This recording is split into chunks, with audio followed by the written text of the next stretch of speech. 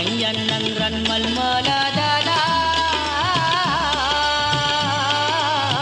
පායනා තරුවේ තවත් ප්‍රතිභාපූර්ණ රංගවේදියෙකුගේ සමු ගැනීම අපි මෙසේ සටහන් කරමු.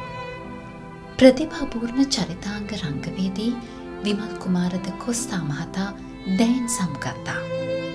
එතුමන්ගේ ජීවිත රංගමඩලේ රංගදරයෙකු ලෙස රඟපෑ චරිත පිළිබඳ එදත් අදත් හෙටත් කතාබා කරනු නොඅනුමානයි.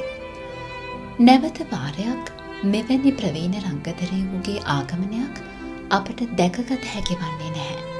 මන්ද ඔහු ඔහුම පමණයි. ඔයාලට මොනවද මගෙන් දැනගන්න ඕන? ගුණය මොකක්ද කියලා. මං දැක්කේ මොනවද කියලා. එහෙමද? මං දැක්කා.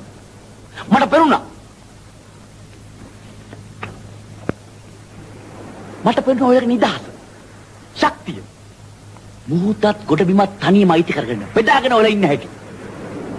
ඔයලගේ වචන තමයි නීතිය. තමන්ගේම නිදහස් ආණ්ඩුවක්. හරියටම ශිෂ්ටාචාරය පටන් ගත්තා වගේ. ප්‍රකෘති කොමියුනිස්ට්වාදය. එහෙම නේද? එතුමන් මේ යන පිට හැට අට හැවිරිදිවියේ පසු වුණා.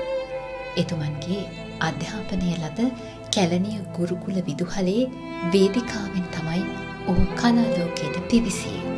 වේදිකා රංගනයේ එතුමන්ගේ ප්‍රතිභාව අපට දැකගත හැකි වූ මතක සටහන් අතර ප්‍රධාන වේදිකා නාට්‍ය ගණනාවක් අපගේ මතකේ සටහන් වනවා. මුල්ම වේදිකා නාට්‍ය ගෝඩෝ උන්නැහි එනකං නාට්‍යයි. පසුව දුන්න දුනුගමුයි හිත හොඳ අම්මන්ටි පූට්ටු කවුරුත් එන්නේ නැහැ.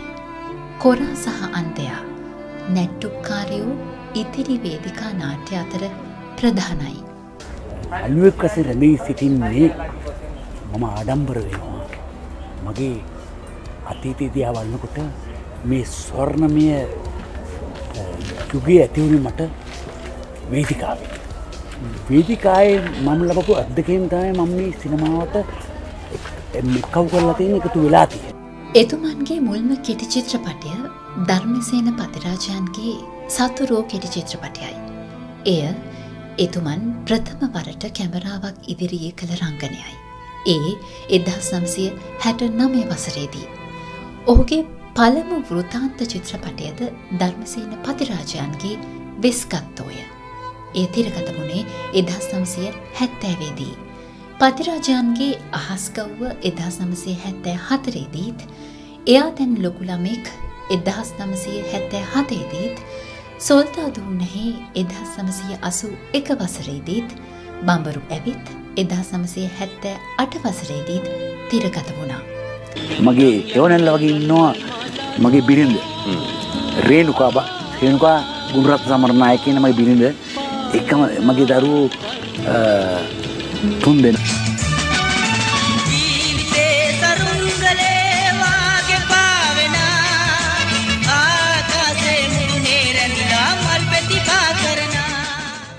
එමෙන්ම සුනිල් ආරිරත්නයන්ගේ සරුන්ගලේ එදස් නම්සය හැත්තෑ නමේ තිරගත වුණු අතර එදා සමසය අසු එක වසරේ ගාමිනි ෆොන්සේකා හැදූ සාගරයක් මැද චිත්‍රපටයේද එතුමන්ගේ රංග හැකියාව දැකගන්නට හැකි වුණා.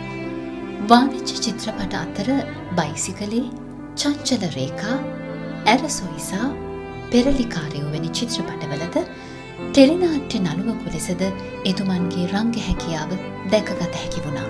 පුජිත කුඳන් රජ කුල වන්සේ සිපංචෝ සිපංචෝ සිපංචෝ සැරද සිරින් මහමුදියන්සේ සිපංචෝ සිපංචෝ සිපංචෝ පුජිත කුඳන් රජ කුල සිරින් මහමුදියන්සේ සිපංචෝ සිපංචෝ සිපංචෝ ප්‍රවීණ රංගදරයන් සහ ප්‍රවීණ අධ්‍යක්ෂකවරුන් නිෂ්පාදකවරුන් සමඟ වැඩ කටයුතු කරන්නට එතුමා වාසනාවන්ත වුණා. එතුමන් සිනමාවේ ලබැඳි අය.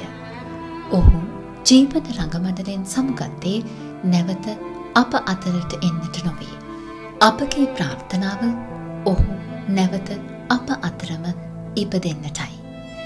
සිනමාවේ ලබැඳයානෙන ඔබට නිවත්සුව.